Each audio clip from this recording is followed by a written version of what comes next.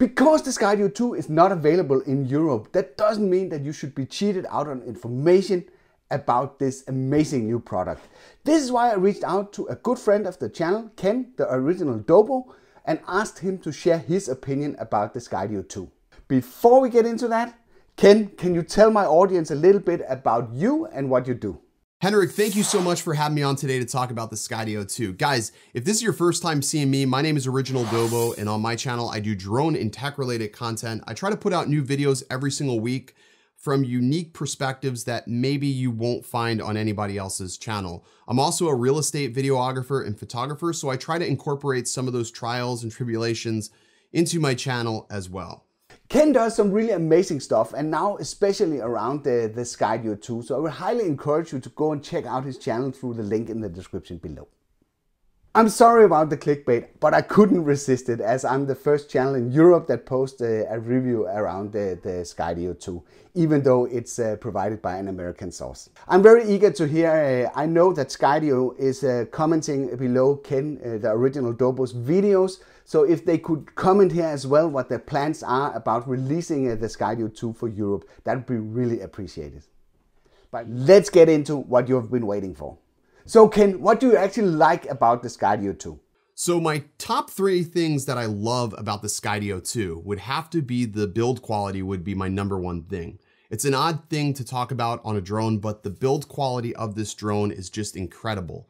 It just feels very substantial in the hand and it doesn't feel like any other product. Now, a lot of people have talked about how this doesn't fold and that's a big downfall to them, but I really don't feel that that takes anything away from this drone. It is a very small drone and it's also very thin once you take that battery out, which makes this a pretty portable drone even though the legs don't fold. The second thing I have to like about this drone is the battery. The battery is magnetic, which is an absolute first on any drone and it just snaps in there really easily. There's no moving components. You don't have to worry about this thing falling out because again, like I said, it's magnetic, which makes this very, very secure. And then the third thing I really love about this is the camera. The camera on this is beautiful. It puts out amazing quality. I'm one of those people that like to tweak footage in post and I'm finding that I don't have to do anything to this footage to make it look great. I can just upload it right off the SD card and it looks amazing. So that would definitely have to be the third thing. And if I if I could, I'm just gonna put a bonus in there.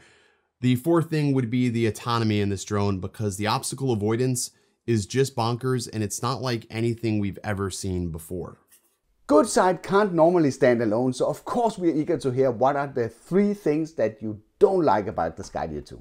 Let's start off with the application. The application is very, very limited. I gave a lot of crap for the DJI Fly app for having a lot of things missing for a budget drone. This drone costs $1,000 and you don't have you don't even have any telemetry which I think is a big oversight. And I hope that Skydio ends up fixing that. But I think for me, that is the biggest letdown is not being able to see how far you're going or how much, you know, how far you can go on your battery charge. You know, any good, useful diagnostic data is not available on this. The second thing that is sort of a downer on this is that you can't really place this where you want it. It does a really good job of avoiding obstacles, but if you're used to flying a DJI product, if you tell a product to fly through X gap, it's going to do that. And if you're not a good pilot, you're probably going to wreck it. With this, if you see that gap, it may decide that it's not safe to fly through it and it won't allow you to do it. So it's making decisions for you. And I said in the video that you're flying this maybe about 70% of the time and 30% of the time the drone's making the decisions for you.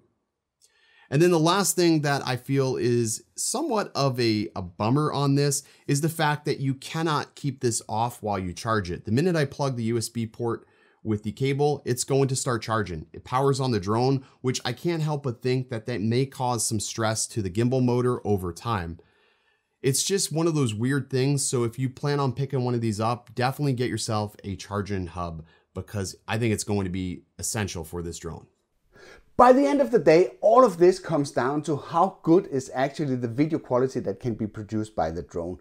So uh, what do you think about the video quality, especially HDR compared to normal video? How does the footage look like? I think the footage looks pretty solid. The I've shot basically everything in automatic. I have not once put it in manual controls.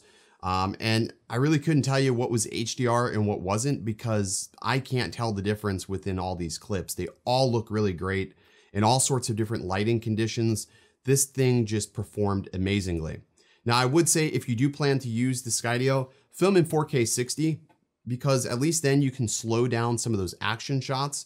And what's great about this drone is the minute you take off, you can have it to where it starts auto recording. So you're definitely never going to miss any of those moments. A question that I'm pretty sure that every one of you are thinking right now. How does the Skydio 2 stack up against the DJI Mavic 2?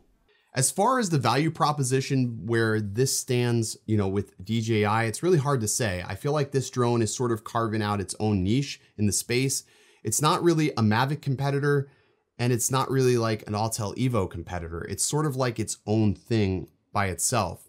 So you really have to evaluate what type of pilot you are. And if you have a Mavic 2 Pro or a Mavic 2 lineup, I don't know if I could necessarily recommend this for somebody who already has one of those higher end drones. But if this is going to be your first drone, it's definitely a really safe drone. You will definitely not crash it, that's for certain. And you will probably have a lot of fun with it. All right, so those are my thoughts initially on this. And again, my opinions may change as I start using it more and more. But I want to thank you, Henrik, for allowing me to come on today and talk to your audience about the Skydio 2. Hopefully they ship over to the UK and overseas to Europe pretty soon because I feel like you guys are definitely missing out on a very well-built drone. Anyways, guys, that's it for me. Stay original. Again, big thank you, Ken, for joining me here on the channel, telling the audience about this new fantastic drone.